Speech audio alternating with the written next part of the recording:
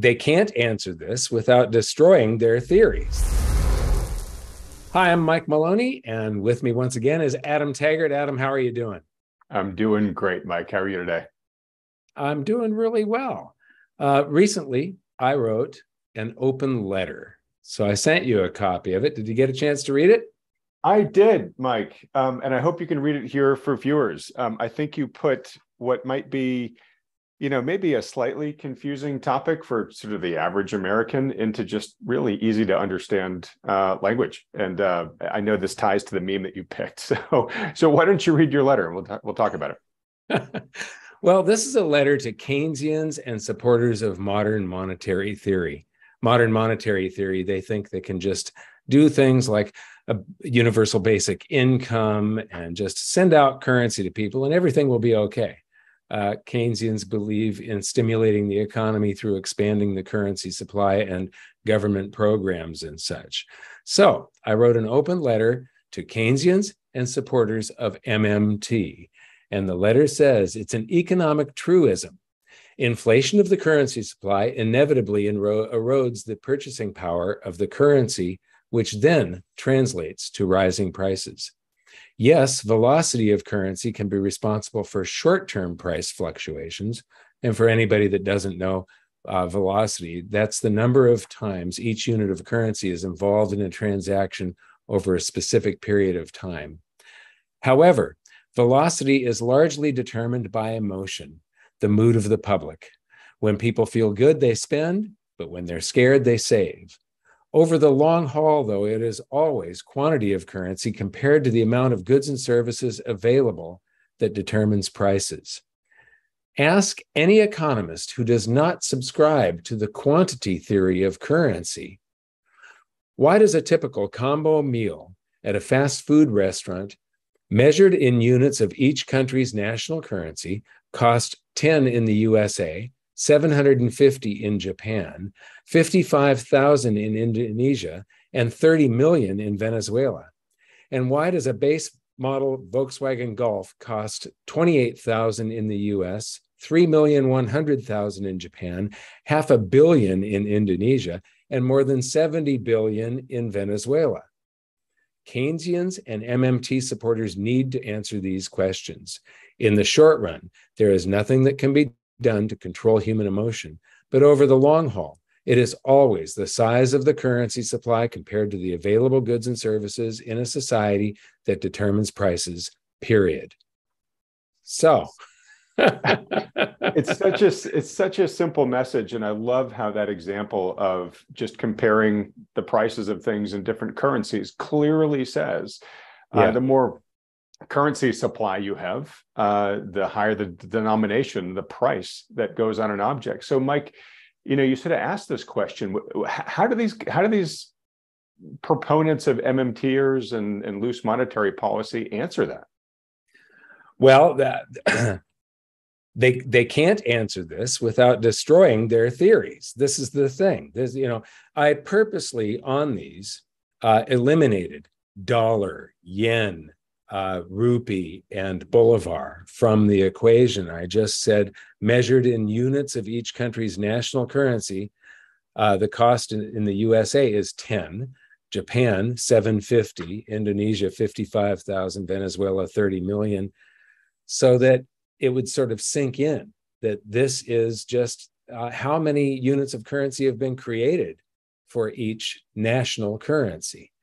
And, you know, here I have a $1 Zimbabwe note. So this is $1. We use US dollars, but this is $1.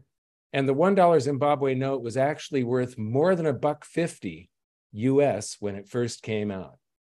Here's $100 trillion from the same country printed in 2008 that was worthless before they were printed in Germany by the time the plane landed with them in Zimbabwe, they were useless. so they never went into circulation. They were worthless. So uh, here is 10 100 trillion or a quadrillion. Now, I used to have a lot of these, but here is 50 of them. So this is half a quintillion. dollars. And I used to have a pile of these that was more than eight inches tall. So I had sextillions of dollars just sitting on my desk, and they wouldn't buy a cup of coffee. Now they're a collector's item, and I could sell them one at a time on eBay and make a pretty good profit. But you go back to uh, like 2,500 years ago. This is a Athena from uh, about 500 BC, and it's got a Pegasus on the back. And this uh, had the amount of silver in this. You could melt this, and it's it's worth six dollars and fifty cents. So this little coin that can fit in your pocket, it's smaller than a quarter, uh, but it's thicker than a quarter. That's the reason it's worth six and a half bucks. A quarter is worth about four and a quarter bucks today.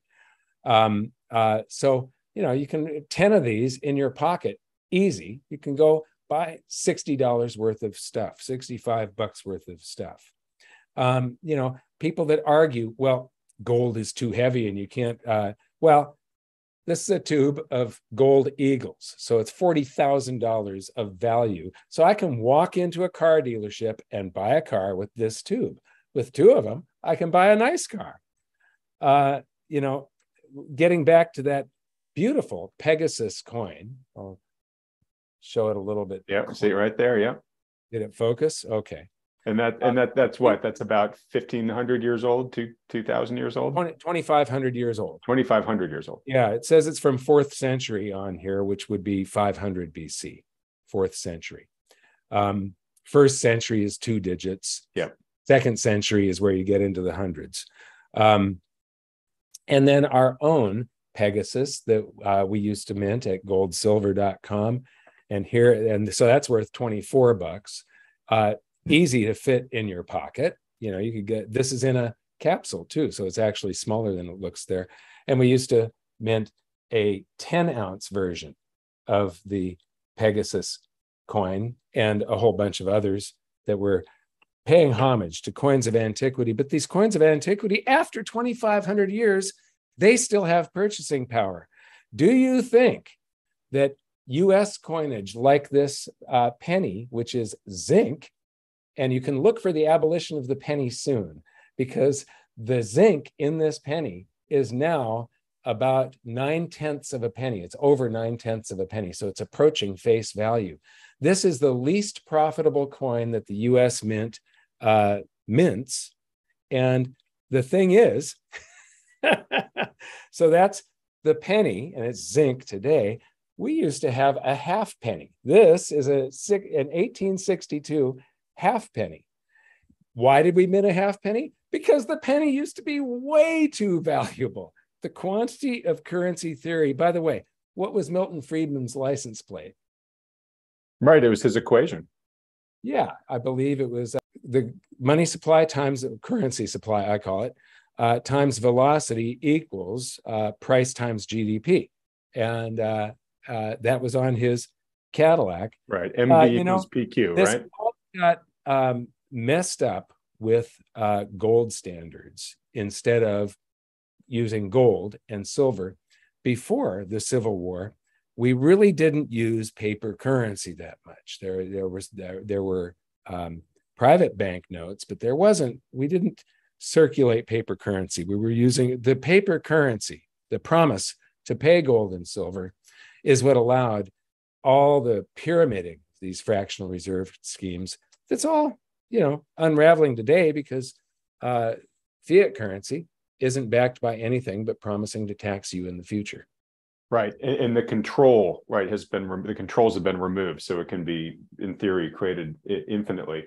Um, two quick things mike in your in your letter you talked about um, you know comparing the prices of goods uh, today uh, across the various different national currencies. Um, but there's also, you know, comparing the prices of a good in the same currency over time, right? So you and I were talking right. about, um, you know, in your letter you mentioned fast food. Before we hopped on here, we were talking about the price of, of Big Macs. You'd you'd show me a, a photo of the prices from I think probably like the mid 70s. It looked like Big Mac was about 65 cents. We just checked before coming on air. It's now like five dollars and 35 cents, right? So, you know, 10 times right. practically more expensive now. when I first started going to McDonald's, they hadn't introduced the Big Mac yet, and a regular hamburger was 15 cents. I'm sure they're a buck 50 today. So. Oh, I'm sure they're worth probably a fair amount more than that. We should have checked yeah. before we came on air here. The other right. thing I wanted to note too is, is um, you know, as you get to the end of, you know, the the, the fiat uh, regime where it begins to fail, as you you know rightly said, it's beginning to do so here or break down. Um, we get into this sort of vicious cycle we're in here, where uh, the the currency printing, the excess of currency printing, starts devaluing uh, the purchasing power of the currency, and people start having trouble coping with the the, the cost of living, right?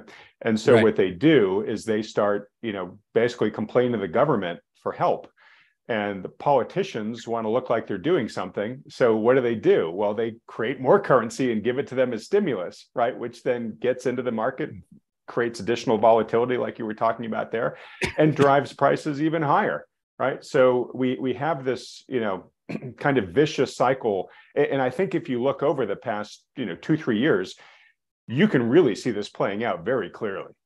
Yeah, and that's the subscribers to Keynesian theory and MMT, and it doesn't work. And all it does is cause people to fall further and further behind. They're falling through the cracks, and the cracks are created by the Keynesians.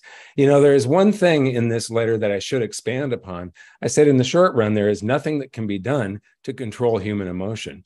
Well, um, that's like direct control. But yes, they, do control human emotion by creating all these bubbles that creates elation. And so we have inflation to go along with the elation. And then they uh, they cause the bubble to burst. So they, these are direct results from the world's central banks, especially the Federal Reserve. When they cause the bubble to burst, everybody gets scared and stops spending, and we go into a contraction. And that is the Federal Reserve's fault. So, uh, anyway, let's get to the meme. We've got a great meme here today. And this is Keynesian logic. Today's special buy one beer for the price of two and get the second beer absolutely free. I want to thank you for joining me, Adam. Always a pleasure, Mike. Thanks so much.